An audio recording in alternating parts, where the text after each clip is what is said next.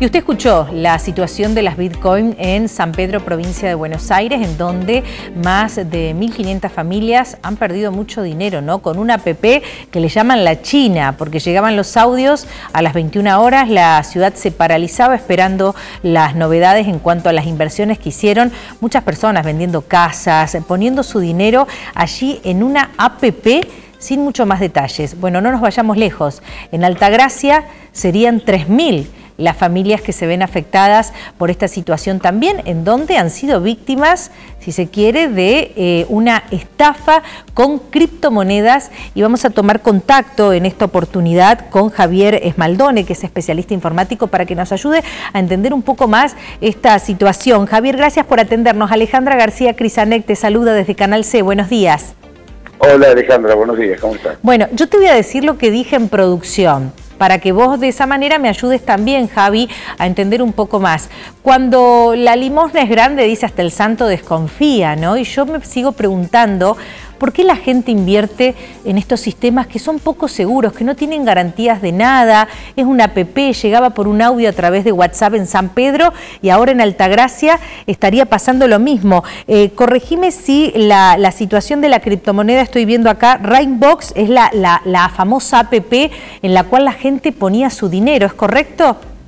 Es correcto, y es correcto acordarse del dicho de la abuela, que cuando la limón es grande se siente desconfía. Claro. La realidad es que esto ni siquiera es una estafa con criptomonedas. Esto es una estafa y las criptomonedas ni siquiera existieron. Ah. Esto se convence a la gente de instalar una aplicación en el teléfono. Sí. De mandarle dinero de alguna forma, a través de referencia bancaria, a través de alguna financiera que colabora o similar, y después se le muestra un numerito a la gente en una aplicación del teléfono y se le dice, ahora compra, ahora vende, ahora hace esto, ahora hace lo otro. Y ese numerito va creciendo y yo veo que voy ganando dinero. Incluso, para que la ilusión funcione bien, yo tengo que poder retirar ese dinero si quiero. Y en efecto, cuando la gente quería retirar el dinero, se le daba. Por eso hay mucha gente que por eso funciona, entre comillas, este tipo de estafas, porque yo veo que mi vecino cambió el auto. Sí. Y yo sé que mi vecino es un laburante igual que yo, que nos costaba llegar a fin de mes y ahora él cambió el auto. Entonces le pregunto, ¿cómo estás haciendo? Puse dinero acá. Y, Entonces yo también quiero. Javier, mira, mira el detalle que pienso también. En las ciudades chicas apuntan, en donde chicas, medianamente, digo, estamos hablando de una Altagracia, que es una ciudad eh, grande en cuanto a estructura, pero que todo el mundo se conoce y, terminan haciendo la, misma gente, esto que vos decís, que se fija en el vecino, todos se conocen, el de boca en boca, eh, en donde nadie profundiza de dónde viene, de dónde es el origen de esto. En realidad, fíjate que el origen de esto, hasta donde hemos podido llegar, sí. es en algún lugar del sudeste asiático, Malasia, Indonesia, por ahí. La globalización. Pero incluso puede estar atrás de esto, ¿sí? Incluso estamos viendo que hay muchas estafas muy parecidas, con lo cual parece haber una generadora de estafas.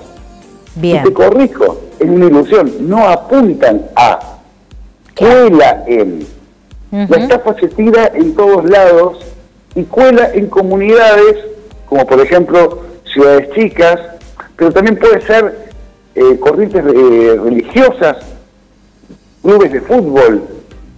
Eh, te, voy a poner un caso puntual de una línea de colectivos de Buenos Aires en donde hay 40 choferes que pusieron dinero acá.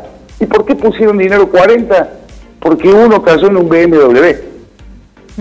es la, y nosotros dijeron, Javier, eh, para, para, para, ir en este sentido al grano, porque el tiempo siempre digo en televisión es tirano, pero te, por favor te pido, te vamos a convocar al piso porque quiero abordar este tema.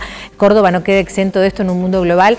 De estos resultados la gente generalmente termina perdiendo su plata, ¿no? No hay a quién demandar. El dinero que, que alguien puede llegar a ganar con esto, y hay gente que lo gana, viene necesariamente del dinero que puso otro. Acá no hay inversión, no hay ganancia. Y finalmente, cuando esto cae, el dinero no está en ningún lado. Exacto. Y sobre todo cuando viene una estafa así. Entonces es muy difícil, esto es importante recalcarlo. Esto, la forma de evitar esto sería evitar que prospere. Agarrarlo cuando nace, cuando alguien hace una oferta de este tipo, que el Estado, alguno de la misma del control, le dijera, señor, usted no puede ofrecer esto. Bien. Porque ahora, cuando caen, lo más difícil es recuperar el dinero. Exacto. Eh, te vamos a convocar acá a los estudios, vamos a abordar este tema en profundidad para ayudar a la gente. Javier eh, Esmaldone, eh, gracias por esta aproximación, que vamos a seguir el tema profundizando, nos interesa muchísimo y aparte la noticia está es un hecho reciente y se da a conocer. Te mando un gran abrazo. Un abrazo, muchas gracias y hasta pronto. Hasta pronto.